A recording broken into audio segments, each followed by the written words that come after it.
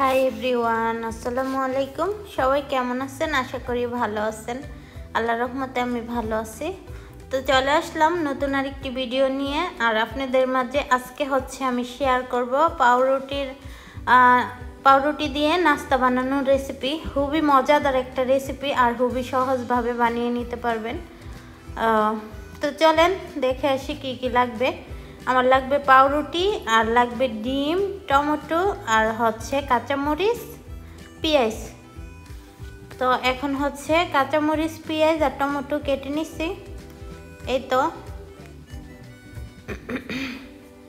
এখন হচ্ছে আমি একটা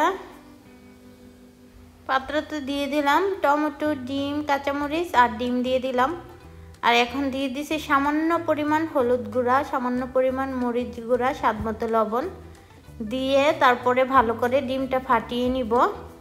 ফাটিয়ে সাইডে রেখে দিব আর হচ্ছে পাউরুটিগুলা কেটে কেটে সাইজ করে নিব। যেভাবে হচ্ছে পাউরুটির নাস্তাটা তৈরি করব, পুরাটা ওই তো আপনাদেরকে দেখিয়ে দিব।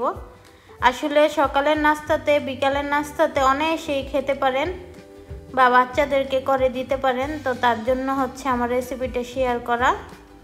তো আশা করি সবাই একটু কষ্ট করে পুরো ভিডিওটা দেখবেন আর কি শেষ পর্যন্ত। তাহলে বুঝতে পারবেন কীভাবে নাস্তাটা তৈরি করি। তো এখন হচ্ছে ডিম আর হচ্ছে কাঁচামরিচ আর পেঁয়াজ আর টমেটো সবগুলো হচ্ছে ডিমটার সাথে ফাটিয়ে নিলাম। এখন হচ্ছে পাউরুটি শেপটা দিয়ে নিব। এই তো, এইভাবে হচ্ছে একটা ছুরি দিয়ে পাউরুটির মাঝখান থেকে কেটে মাঝখানের অংশটা খুলে ফেলব। দেখিয়ে দিচ্ছি, আপনাদের সুবিধার্থে পুরাটা দেখানোর চেষ্টা করছি। যতটুকু সম্ভব হয়েছে জানি না ভিডিওটা কেমন হইতেছে। আমি যখন কষ্ট করে তৈরি করছি, অবশ্যই আমার ভিউয়ার্সদের কাছে ভালো লাগবে। আর একদম সেমভাবে আমি যেভাবে করতেছি ফলো করলে কিন্তু অবশ্যই সবাই পারবেন। এইভাবে হচ্ছে আমি চার চার চার টুকরা পাউরুটি এইভাবে হচ্ছে আমি কেটে নিব আর কি।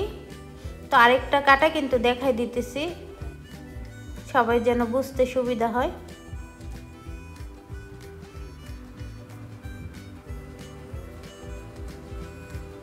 এই তো। ওই দুইটা ওইভাবে কেটে নিচ্ছি এই তো মূলত চারটা কেটে নিচ্ছি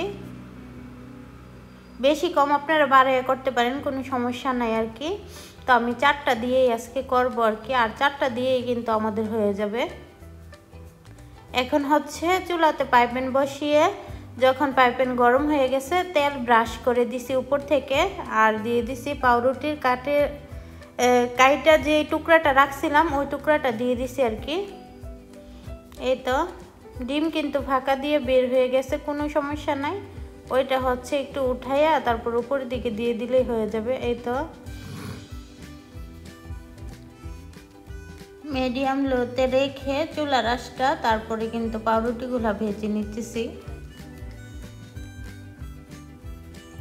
উল্টানোর সময় একটু সাবধানে উল্টাবেন, কারণ দেখা যায় প্রথমটা একটু নরম থাকে। এই তো, আমার চারটাই কিন্তু বানানো শেষ। আর আপনাদের সুবিধার্থে আমি কিন্তু দেখিয়ে দিলাম। আর এই নাস্তাটা কিন্তু খুবই মজা হয়। এই তো। সকালের নাস্তাতে, বিকালের নাস্তাতে খেতে পারেন। তো সবাই কমেন্ট করে জানাবেন অবশ্যই আজকে আমার রেসিপিটা আপনাদের কেমন লাগল। আর লাইক দিতে কিন্তু ভুলবেন না। তো সবসময় আমার পাশে থাকবেন। আজকের মতো এখানে ভিডিওটা শেষ করে দিব। আল্লাহ হাফেজ। আসসালামু আলাইকুম।